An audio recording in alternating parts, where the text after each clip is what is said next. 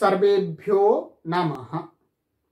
देववाणी, संस्कृतम, ई गुरुकुलम में आप सभी महान भावों का हार्दिक अभिनंदन है।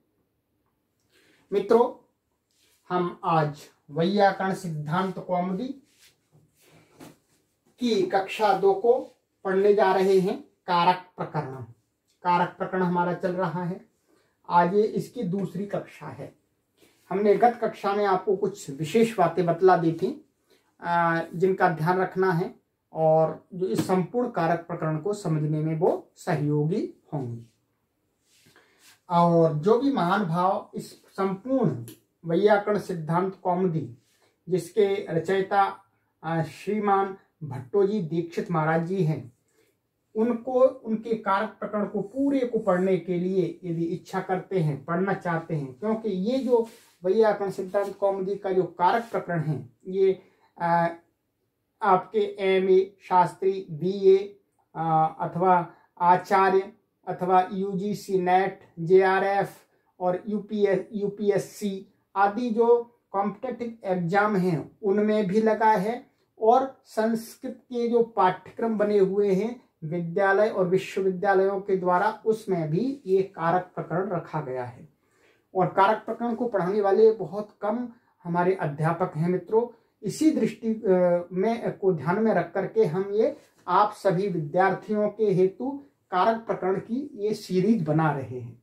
इस सीरीज़ को आप थोड़ा सा शुल्क दे करके इस ऐप को डाउनलोड कर लीजिएगा, देववाणी संस्कृतम प्ले स्टोर से, और वहाँ पर कोर्स को खरीद करके अपने घर पर ही आराम से पढ़ सकेंगे।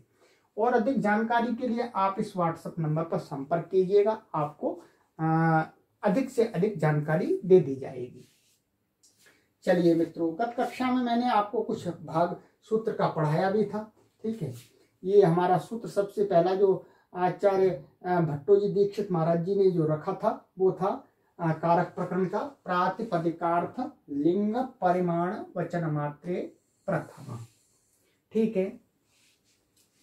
तो हम आ, कोई भी शब्द बनाते हैं कोई भी शब्द बनाते हैं तो उससे क्या होता है उससे ये नियम है संस्कृत में कि उससे हमको स्वादि उत्पत्ति करनी होती है। स्वादि उत्पत्ति का मैंने बता दिया था कि जो 21 प्रत्यय हैं, उनमें से वो प्रत्यय लाने होते हैं। तभी संस्कृत में हम प्रयोग कर सकते हैं। मात्र केवल शब्द का प्रयोग नहीं कर सकते।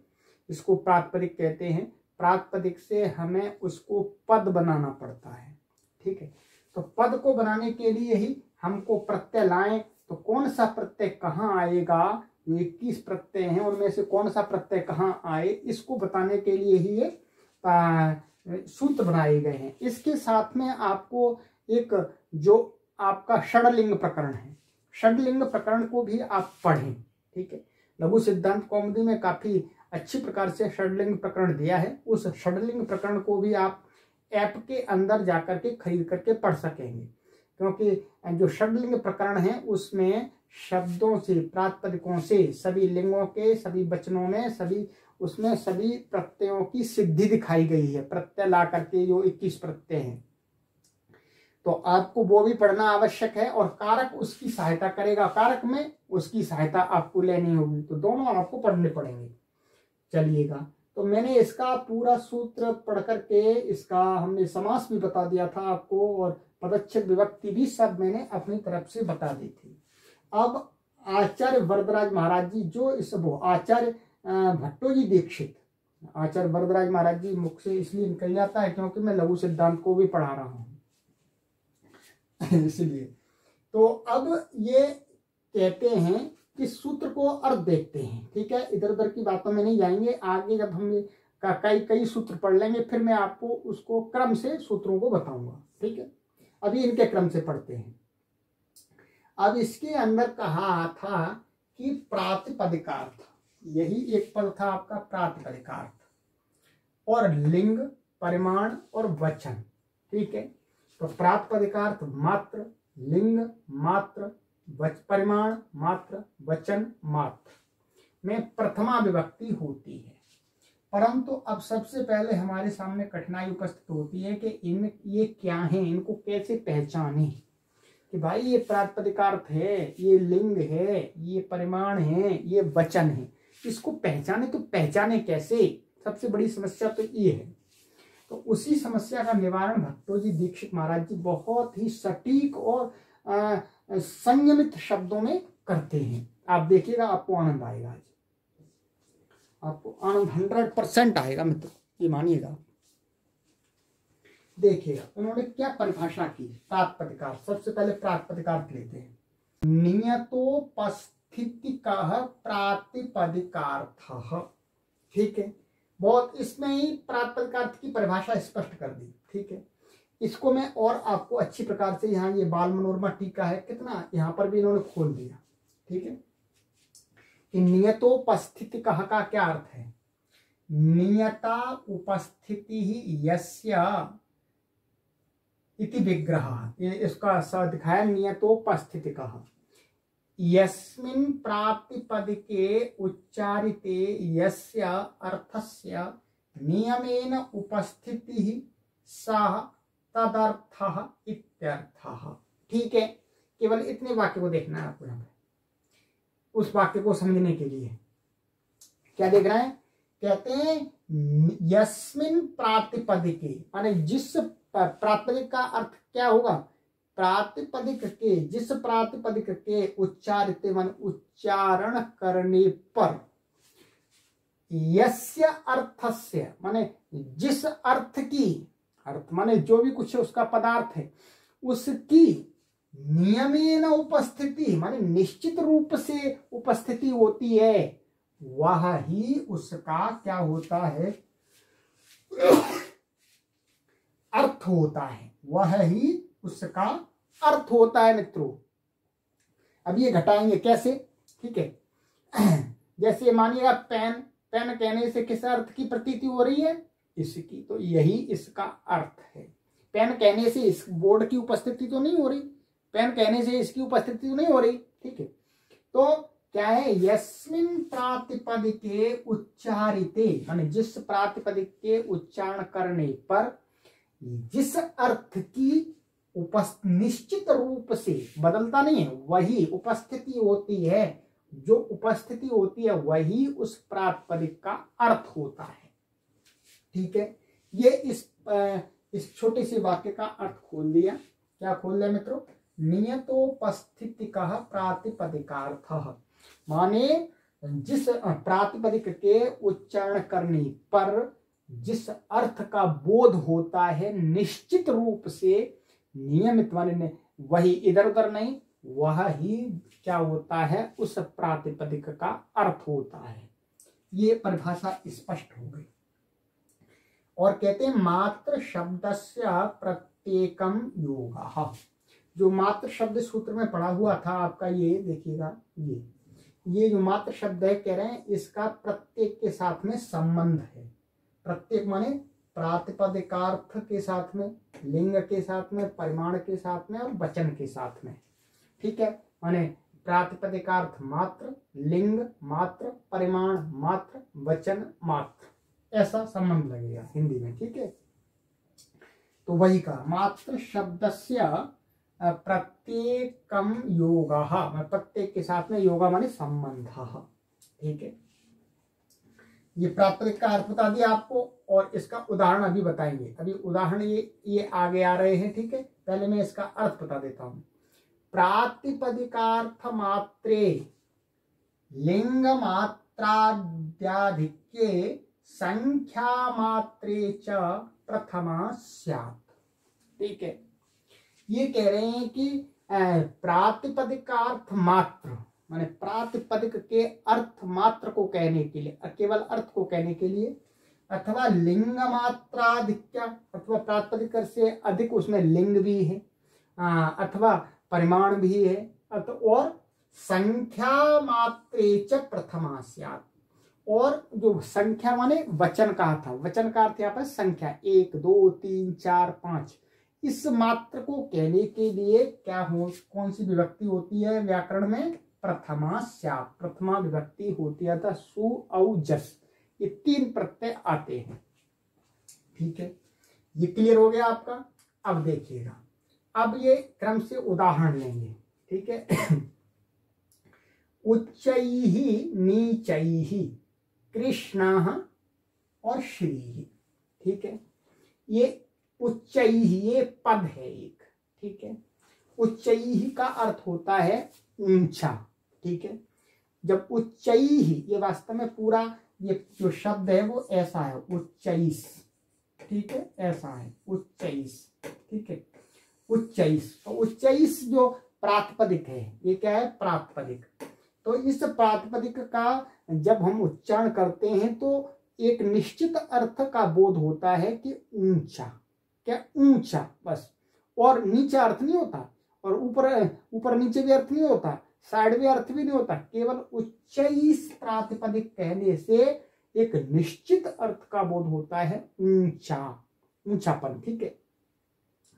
तो इसमें ये उच्च ये क्या है? यहाँ पर केवल और केवल प्रातिपदिक का अर्थ कहा जाता है। या ना तो उसका कोई परिमाण होता है, ठीक है? इतना ऊँचा, और ना कोई उसका लिंग होता है, क्योंकि इसका कोई लिंग नहीं होता, ये अलिंग है, अर्थात इसमें लिंग को बताएँगे, जो क्योंकि ये अव्यय है अव्यय है, ठीक है? तो उच्चाई ही और नीचाई ही। नीचाई का अर्थ होता है नीचा। अब इस शब्द को ये प्रातपदिक अर्थ है, ठीक है? वो प्रातपदिक है। प्रातपदिक है तो हमारा नियम है कि बिना भी, हम, बिना हम किसी स्वादी उत्पत्ति किए हुए किसी शब्द का संस्कृत में प्रयोग नहीं कर सकते। तो हमें इससे सु आदि लाना होगा। सु आदि लाना होगा। सबसे पहला जो अव्यय होते हैं, उनसे सु ही आता है। क्योंकि रहता है ये लुक हो जाता है उनका। तो ये अव्यय है मित्रों, ये अव्यय है। पर हम अभी इसकी उत्पत्ति बाद में दिखाएँगे। पर आपको ये घटाना है, ये देखना है, यहाँ समझना है कि ये प्रातिपदिकार्थ मात्र है। इसमें किसी संख्या का बोध नहीं होता, इसमें किसी परिमाण का बोध नहीं होता, और इसमें किसी लिंग का बोध नहीं होता। लिंग का ये अभी आगे अर्थ बताएँगे कि लिंग क्या चीज़ है? या लिंग से क्या कहना चाह रहे हैं? देखिएगा। यहाँ थोड़ा सा हम इसका भी सहयोग लेते रहेंगे।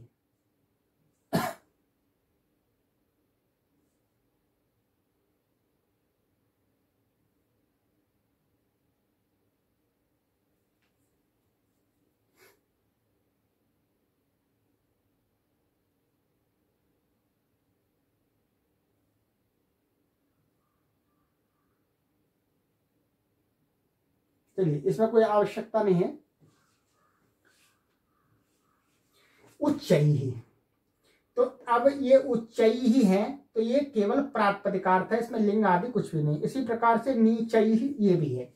और कृष्ण और श्री। ही यहाँ कृष्ण शब्द क्या है? एक निश्चित अर्थ को कहने वाला कृष्ण माने जो भगवान कृष्ण, जो पीताम्बर है, उनको ही कहता है। ठीक है? तो कृष्ण तो कृष्ण और श्री ही और श्री ही श्री मान लक्ष्मी, ठीक है? और जानम जानम, ये क्या है? जानम, ये नपुंसक लिंग है, नित्य नपुंसक लिंग, ठीक है? अब देखिएगा, अब हमको यहाँ देखना है कि जो आलिंगा नियत लिंगाश्च प्रातिपदिकार्थ मात्रा इत्यस्य उदाहरणम ठीक है? प्रातपदिकार्थ की जो उदाहरण दिखा, दिखना, दिखलाने जा रहे हैं तो उसमें क्या समझना है? अलिंगाह। अलिंगाह और नियत लिंगाश्च दो प्रकार के शब्दों का ग्रहण होगा। किनका? एक तो अलिंगाह। अलिंगाह माने जिनका कोई लिंग नहीं है। वास्तव में इनका कोई लिंग नहीं है। इनका कोई लिंग नहीं होता तो वैसे तो संस्कृत में भाई उनका कोई कोई लिंग होता है शब्द का। तो ये नपुंसक लिंग को ही क्या कह रहे हैं कि जो अव्यय आप मान लीजिएगा अव्यय। तो अव्ययों को ही कह रहे हैं अलिंगा। तो अलिंगा ये अव्यय हैं, उच्च ही नीच। ही और दूसरा किस प्रकार के शब्द होंगे नियत लिंग वाले। नियत लिंग माने किसी एक लिंग में ही वो रहते हों। तो यहाँ पर जो भगवान कृष्ण को कहने वाला जो शब्द है कृष्ण वो नियत लिंग वाला है कि एक पुल्लिंग में ही रहता है नपुंसक लिंग स्त्रीलिंग में नहीं जाता है। तो भगवान श्री कृष्ण जी को कहने वाला जो शब्द है, और ऐसे ही श्री लक्ष्मी को कहने वाली जो श्री है, वो नियत लिंग माने स्त्री लिंग वाली है। और जानम जानम शब्द भी क्या है, नित्य नपुंसक लिंग है। ये स्त्रीलिंग में नहीं जाता, पुल्लिंग में नहीं जाता। इसलिए नियतलिंगा नियतलिंग वाले शब्द और अलिंगा। अलिंगा का अर्थ हो जाएगा जो अव्यय हैं। तो इत्यस्य मान प्रातिपदिकार्थ मात्र इत्यस्य उदाहरण इस प्रकार के दो प्रकार के शब्द क्या है? इस सूत्र के प्रातिपदिकार्थ के उदाहरण बनते हैं। क्योंकि वहाँ पर केवल प्रातिपदिकार्थ मात्र ही ही है उसमें कोई संख्या का बोध नहीं हमको करना होता ठीक है? ना परिमाण का बोध करना होता ना लिंग का। और लिंग का उन्होंने बता दिया है ये, ये वो आगे लिंग आ रहा है वो अलग है जो नियत लिंग वाले शब्द हैं वो प्रातिपदिकार्थ के अंतर्गत आएँगे। प्रातिपदिकार्थ मात्र की विवक्षा में उनसे स्वादी उत्पत्ति प्रथमा विभक्ति आएगी। तो अब ये उच्चईस और नीचईस और कृष्ण और श्री और जानम ठीक है? इनमें प्रथमा विभक्ति आई है और प्रथमा विभक्ति का सु दिखा दिया है ठीक है? सु दिखा दिया है तो सु आ, सु की जो विपत्ति है उसको मैं आपको आ, एक पूरी सिद्धि पूरी सिद्धि वैसे यहाँ का प्रकरण नहीं है ये कारक प्रकरण है। फिर भी मैं आपको सुविधा के लिए एक बार इसकी स्वादी उत्पत्ति करके मैं आपको बतलाऊँगा, ठीक है? वो आगे की कक्षा में बतलाऊँगा, ठीक है? तो अब आपको ये समझ में आ गया आलिंगा तो ये ये क्या है? ये ध्यान रखेंगे, ये यहाँ पर जो भट्टो जी दीक्षित महाराज जी है, वो संधि करके अपने वाक्यों का निर्माण करते हैं। मैं संधि तोड़ तोड़ करके भी बोलूँगा। आपको ऐसा नहीं समझना, यहाँ पर ऐसा लिखा हुआ और ये गुरु जी ऐसा बोल रहे हैं। तो मैं आपको समझाने की दृष्टि से क्या बोल सकता हूँ? अलिंगाह या विसर्ग था लोप हो गया। नियत लिंगाश्च प्रातिपदिकार्थ मात्रे इत्यस्य उदाहरण। तो मात्रे ये क्या यहाँ से ए था, संधि होकर के उसका लोप हो जाता है। तो अलिंग माने अलिंग शब्द, अलिंग जो हैं और नियत लिंग वाले हैं, वह ही या इस सूत्र में प्रातिपदिकार्थ मात्र से प्रथमा विभक्ति होने के उदाहरण बनेंगे। जो कि ये दिखा दिया, ये अलिंग है। इनका कोई लिंग नहीं है, कृष्ण और श्री और जानम इनका एक निश्चित लिंग है। तो मित्रों, आज की कक्षा में मैं आपको इतना ही पढ़ाऊँगा, ठीक है? क्योंकि अभी शुरू में हम धीरे धीरे चलेंगे, ठीक है? और ये सूत्र समझना काफ़ी, ठीक है?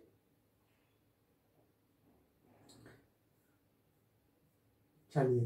तो इसको हम यहीं पर आज विराम देंगे और फिर आगे की कक्षा में आपसे मिलते हैं। यहाँ से आगे हम देखेंगे। अब लिंग का ये उदाहरण देंगे, परंतु उससे पहले मैं आपको इस शब्द की सिद्धि भी करके दिखलाऊँगा। ठीक है? कि किस प्रकार से ये आपका उच्च ही बना नीचई ही बना, और ये कृष्ण श्री ही जाना। चलिएगा। तो चलिएगा, आगे की कक्षा में हम आपको मिलते हैं, शीघ्र ही आप चिंतन से पढ़िएगा, कोई भी शंका आती है तो उसको पूछिएगा, जो आपको यहाँ पर व्हाट्सएप नंबर दिया गया है, वहाँ पर आप पूछ सकेंगे, ठीक है कॉलिंग करके नहीं पूछेंगे, केवल संदेश के माध्यम से पूछेंगे। अस्तु सर्वेभ्यो नमः।